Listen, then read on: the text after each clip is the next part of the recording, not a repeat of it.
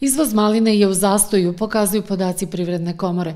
Iako je 2022. godine malina dostigla rekordne cene, potražnja je značajno manja u odnosu na prošlu godinu. Pojedini proizvođači su naplatili deo prošlogodišnjeg roda, a iako je nova sezona praktično na pragu, mnogi još uvek čekaju isplatu ostatka novca.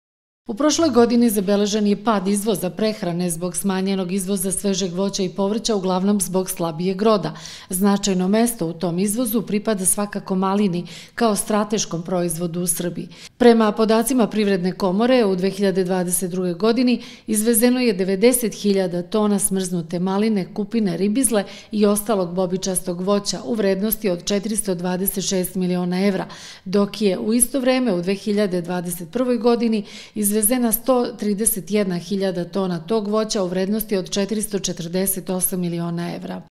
Ja nemam tačno podatak koliko je stao, stao je izvoz, prvo je i loš rod izvoza maline bio, drugo je e, mala potražnja bila iz zemalja koje su tradicionalno najveći uvoznici maline bili, tu smo imali, da li zbog ukrajinske krize, e, zbog cene e, po kojoj se plasira malina u ta inostrana tržišta, znači smanjena je potražnja iz zemalja u kojima se najviše izvozila malina.